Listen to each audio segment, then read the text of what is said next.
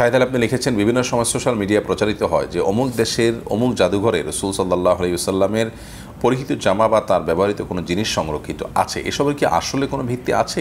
বা এর উপর নিশ্চিত বিশ্বাস না থাকলে ইমানের কোনো ক্ষতি হবে? বা শাহেদ আলী, প্রথম কথা হলো যে ইমানদারের বিশ্বাস হবে অত্যন্ত অথেন্টিক অত্যন্ত সুচিন্তিত এবং দালিলিক।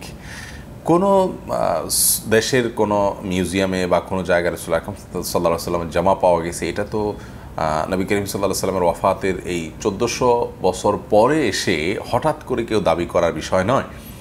এটা যদি সেখানে সংরক্ষিত হয়ে থাকে, তার অথেন্টিকেশন থাকতে হবে, তার মানে গ্রহণযোগ্য সূত্র এবং সোর্স থাকতে হবে, সেটা তো আগে থেকে জানাজানির বিষয় থাকবে। হঠাৎ করে এটা জানাজানি হওয়ার মতো বিষয় তো নয়। চোদ্দোশো বছর পরে হঠাৎ করে কেউ দাবি করলে সেটা তো গ্রহণযোগ্য হওয়ার কথা নয়।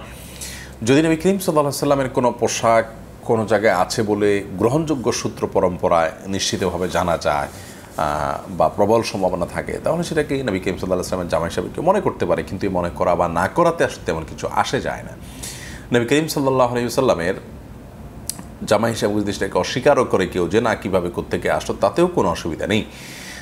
বাকি এ ধরনের বিষয়গুলো বেশিরভাগ ক্ষেত্রে ফেক হয়ে থাকে এবং অহেতুক মুসলমানদের আবেগ নিয়ে খেলা করে থাকে এক শ্রেণির মানুষ। কিছুদিন পরপর পর এই ধরনের ইস্যুগুলো আমাদের সামনে উঠে আসে। তো এ বিষয়ে আমাদের সাবধান হওয়া উচিত এবং দায়িত্বশীল আচরণ আমাদের করা উচিত।